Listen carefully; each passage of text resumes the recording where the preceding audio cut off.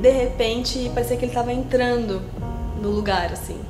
É, e teve uma hora em que eu olhei para aquela peça e, e eu vi mesmo, eu vi o Becão, né? Porque pra mim é o Becão, meu, a gente chamava o meu tio, né, o Ayrton de Becão. E de repente parecia que ele tava olhando para mim, assim, foi uma coisa muito, muito, muito especial, muito forte, que eu não sei nem explicar, porque de alguma forma foi como se eu estivesse olhando ele pela primeira vez desde que eu tinha visto ele da última vez. Tive uma ideia e sabendo que a Paulinha tinha condições, eu pedi para ela é, fazer um, uma escultura do Ayrton. E ela fez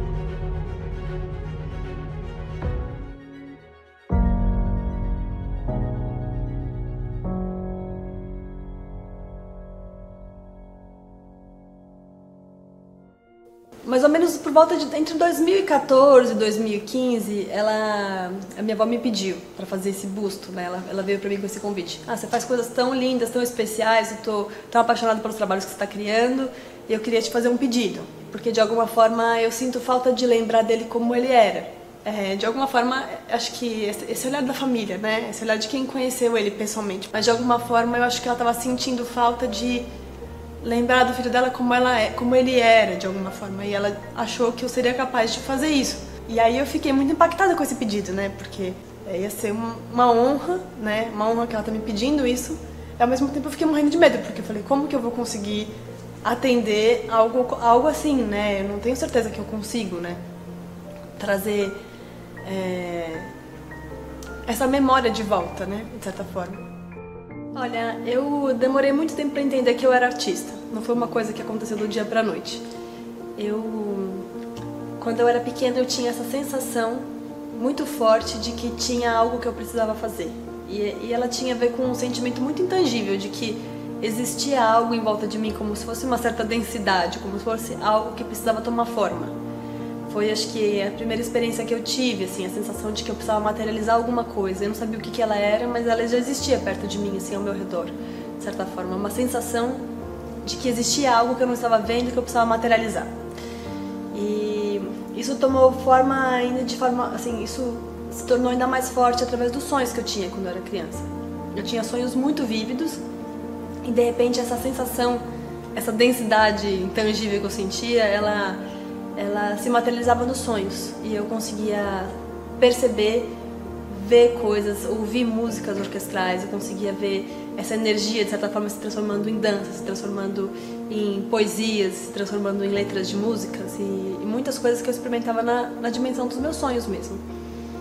E aí eu, quando era criança, ficava muito impactada por essas visões e queria poder, de certa forma, compartilhar essas visões com outras pessoas, mas eu não conseguia fazer isso porque eu não tinha essa o conhecimento necessário, né, para conseguir traduzir essas imagens, que eram coisas muito complexas, na verdade, e exigiam conhecimentos técnicos muito diferentes.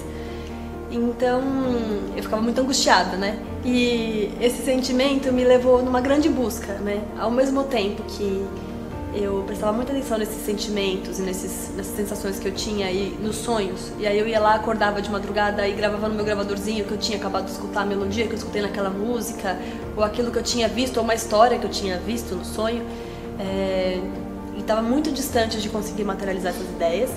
Por um outro lado, eu também fui em busca de conhecimento. Eu tinha uma sensação de que eu precisava fazer alguma coisa que eu não sabia muito bem o que era e que para isso eu precisava ter o máximo de conhecimento possível. Eu queria entender o mundo, entender o que, que existia fora do fora assim, né, da minha, do meu universo de criança. E aí eu fui nessa, saí nessa grande jornada, na verdade. Eu decidi que eu queria mesmo conseguir expressar essas imagens que estavam no meu, dentro do meu coração, essas coisas que apareciam nos meus sonhos e de certa forma essa essa energia, essa essa energia intangível que eu sentia ao redor de mim que precisava ser materializada em alguma coisa. Eu tive esse grande privilégio de poder estudar em muitos lugares do mundo, onde se davam esses cursos que eu queria aprender coisas muito específicas que eu achava que eu precisava para conseguir traduzir as ideias que estavam aparecendo na minha cabeça, né? Então foi uma via dupla de conhecimento, assim. Na verdade, uma via tripla de conhecimento, porque era o conhecimento técnico, as habilidades técnicas, tanto na área de música, quanto na área de arte, quanto na área até de computação gráfica. Depois eu fui para Los Angeles, fiz computação gráfica e animação, estudei com os professores que davam aula, que trabalhavam nos estúdios de, de Hollywood para fazer as grandes produções de filme.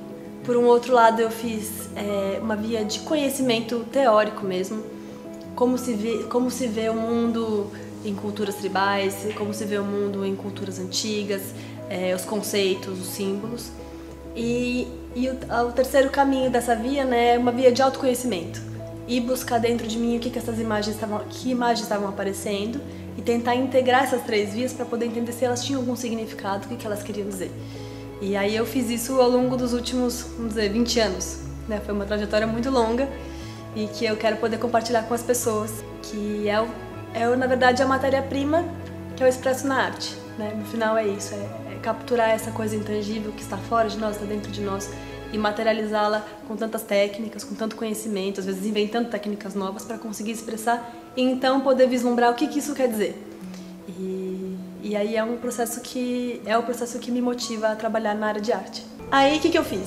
Eu falei, vamos fazer na mão mesmo. Então eu peguei a plastilina, old school, né, que a gente chama, os métodos antigos. Pega a plastilina e você começa. Você começa com, por exemplo, uma base, é uma garrafinha PET, entendeu? Uma base. E aí você começa a colocar plastilina em cima. Aí eu olhei para aquela garrafinha PET e falei, gente, isso daqui nunca vai virar o Ayrton Senna. E aí eu tava na, naquele questionamento, né? Qual que era a expressão que eu queria dar para ele, né? Que tinha sido, na verdade, o desafio inicial, né? Era para parecer ele, mas parecer com ele de verdade. É, eu fiz aula com um professor que foi um grande mestre de desenho chamado Glenn Vilko. E ele falava muito assim para mim, é, quando você faz um retrato de uma pessoa, o retrato tem que parecer mais com a pessoa do que ela mesma. Aí eu fundi essa primeira peça. Essa primeira peça eu entreguei para ela aquela original que eu tinha feito, a peça, a primeira peça original que eu fiz, eu fiz uma fundi a peça para entregar para ela. Na hora que eu ia entregar para ela, tantas pessoas gostaram da peça, foi ficando uma coisa assim que foi gerando uma movimentação e uma pessoa, um conhecido nosso, falou assim: eu, eu queria na verdade, eu queria convidar vocês para entregar essa peça pro Papa. Meu filho estava para nascer, então não tinha como eu ir para o Vaticano, né? Não tinha como eu ir para Itália no mesmo, no mesmo final de semana. Eu estava assim no, no final do segundo tempo da gestação. Então a minha irmã foi. Ela foi me representar e levar essa, essa escultura para ele. E foi super especial e foi muito incrível, né? E aí veio a proposta de falar assim: ah, você já fez esse busto, tá incrível tal, vamos colocar ele em algum lugar, né? Acessível a todos, para as pessoas poderem ver. É, no Brasil, em verdade em São Paulo, né, a gente não tem ainda um lugar onde você possa realmente homenagear o Ayrton, né? As pessoas que são fãs é, acabam indo para o cemitério, né? E em maio tem até um aumento do turismo no, em São Paulo de pessoas que são fãs do Ayrton que ainda vêm para a cidade para conhecer mais sobre ele e tal e acabam indo para o cemitério fazer as homenagens, né? Então é, a gente estava achando que poderia ser algo como que a gente pode possibilitar para as pessoas terem esse momento de uma forma mais luminosa, né? Ligar para lembrança de algo positivo, né? Da vida do Ayrton. E aí veio essa proposta de trazer essa peça de, de forma pública, ampliada, o segundo passo, né? Que tamanho? Era um espaço tão monumental para uma coisa tão pequena que teve que ser ampliado muitas vezes. Então a gente chegou no tamanho possível de 3 metros e meio de altura para poder criar uma presença naquele lugar e aí eu tive a ideia de fazer isso de uma forma mais moderna. Eu quis criar uma linguagem mais moderna para essa, essa versão do busto é, mais monumental, né, dessa versão do busto gigante, que fosse facetada. Porque aí eu quis trazer um pouco desse meu lado de tecnologia. E aí como que a gente realiza uma peça, né, desse tamanho, que é super interessante. A forma, né, de se realizar um projeto já monumental, né. Você poderia fazer ele inteiro na mão gigante, mas hoje em dia a gente tem tecnologia, né? Então, eu escolhi uma outra ferramenta. Eu escolhi usar um robô que fresa, que é um dos únicos que tem na, na América Latina, que eu tive acesso. É um robô que ele se move em sete eixos, né? E ele consegue cortar algum bloco num formato que a gente queira que já esteja no, no formato 3D, né? E eu falei assim, ah, vamos tentar em isopor. Aí você tinha que achar um tipo de isopor especial que pudesse cortar é, pudesse ser colado tivesse uma certa densidade, porque não pode ser aquele isopor de papelaria, tem que ser um isopor específico para fazer esse tipo de escultura, né? Que seja resistente e detalhado ao mesmo tempo. E resolvi fazer todo o acabamento na mão. É, e aí as, as facetas meio que deram uma desaparecida nesse processo, tiveram que ser recolocadas no lugar, redesenhadas todas.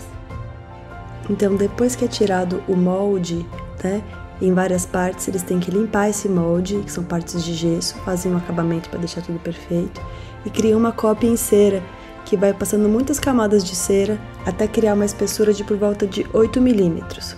Depois é feito um contramolde novamente na terra, é, onde se faz o formato ao redor daquela peça que foi feita, com terra e um tipo de cerâmica especial.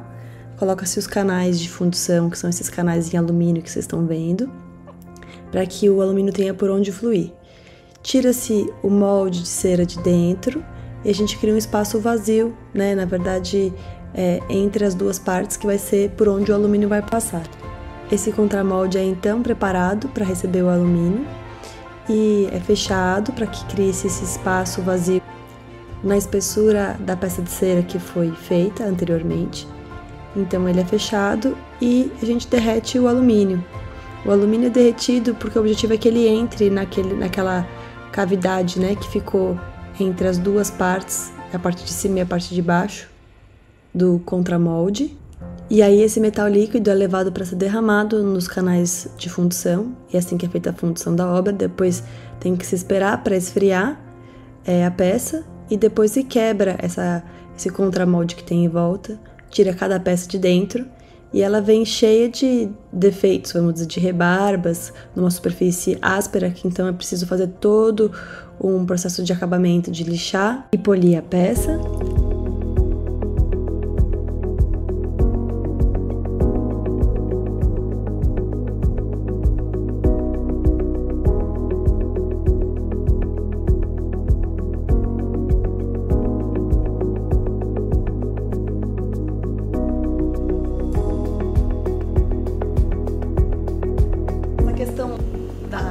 Dimensão faz muita diferença na escultura. Você vê uma escultura pequena e uma escultura grande, você enxerga coisas muito diferentes. Então, na prática, eu resolvi que eu ia remodelar o rosto.